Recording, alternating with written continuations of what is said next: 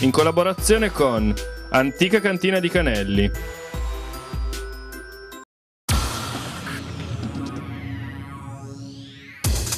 Ieri pomeriggio l'astigiano Roberto Gottardi di 45 anni si è incatenato al cancello di accesso del municipio di Asti. Disoccupato da tempo, sfrattato ed ora costretto a vivere in un container ha chiesto l'intervento del sindaco Giorgio Galvagno.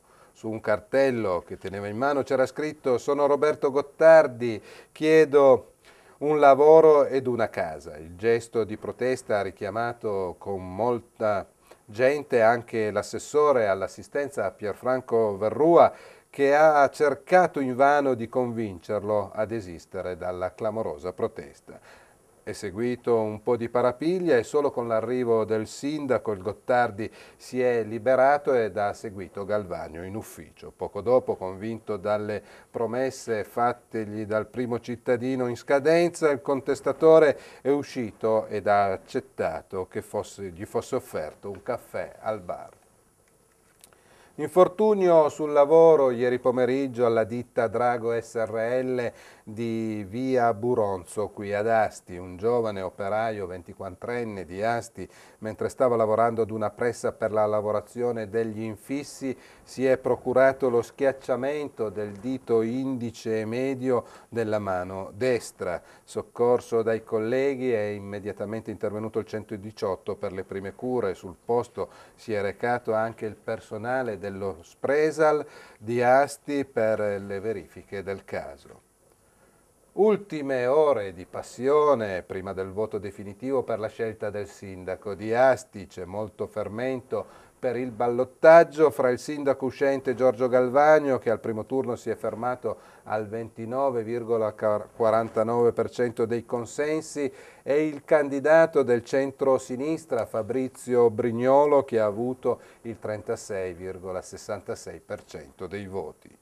Le alleanze sono ormai chiare, attorno al Galvagno si è ricompattato il centrodestra con l'alleanza con Mariangela Cotto e Gianfranco Verrua, anche se sulla lista non ci sarà il simbolo della Lega Nord, anche Alleanza Stigiana e Diego Zavattaro hanno fatto quadrato ed appoggeranno in ogni caso Galvagno. Sull'altro fronte Brignolo, dopo aver ottenuto il collegamento con l'Udc, ed aver lanciato la nomina a vice sindaco, naturalmente in caso di vittoria del suo quasi coetaneo Davide Arri, in queste ultime ore ha aperto un nuovo dialogo con la sinistra e raccolto una dichiarazione di Giovanni Pensabene che recita, prima di alcuni distinguo, come nonostante tutto sia innegabile che le aperture programmatiche fatte da Brignolo siano significative e che consentiranno, sottolinea Pensabene, a molti miei elettori che già avevano deciso di votarlo,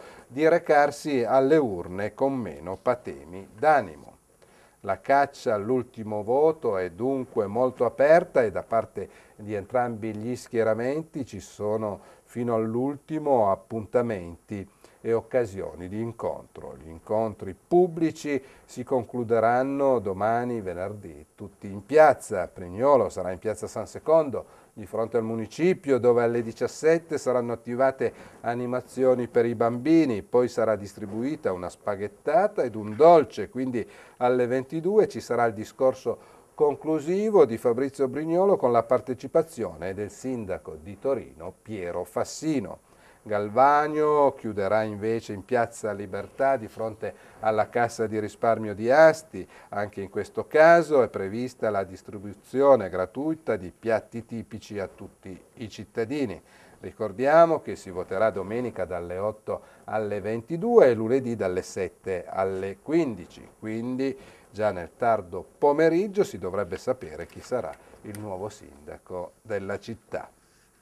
E saranno migliaia i bambini che sabato pomeriggio allo stadio parteciperanno alla festa del calcio giovanile, sfileranno tutte le società con gli allenatori e gli dirigenti e i ragazzi riceveranno gadget, dolci, caramelle e giochi. Anche gli spettatori potranno gustare gratuitamente i vini del territorio. Ma sentiamo il delegato provinciale della FIGC che organizza questo evento. Abbiamo iniziato così per, eh, con un'idea di fare una, una, piccola attività extra campionato, fare un po' per questi bambini che sentivano la necessità e il piacere di essere posti sotto una luce diversa del campo sportivo solo. E tramite la Ivo Ivo Anselmo Pubblicità è venuta l'idea, maturata questa idea che è poi stata eh, sviscerata eh, dopo un anno di, di prova, diciamo così, migliorata in tutti i sensi, che ci fa molto piacere e ci mette anche in evidenza come Federazione Italiana Gioco Calcio e Delegazione di Asti per l'attività che facciamo con questo grosso numero di giocatori che ci sono, numero che tende ad aumentare ogni anno ancorché le spese producono anche qualche danno perché i tesseramenti costano, lo sai anche tu, eh, l'attività la, calcistica costa. Comunque quest'anno abbiamo oltrepassato il numero di tesserati dell'anno scorso, soltanto di puro settore giovanile, pulcini, esordienti e scuola calcio e piccoli amici, siamo andati oltre i 2500 tesserati. E per questa edizione è tutto, vi diamo appuntamento ai prossimi collegamenti, grazie.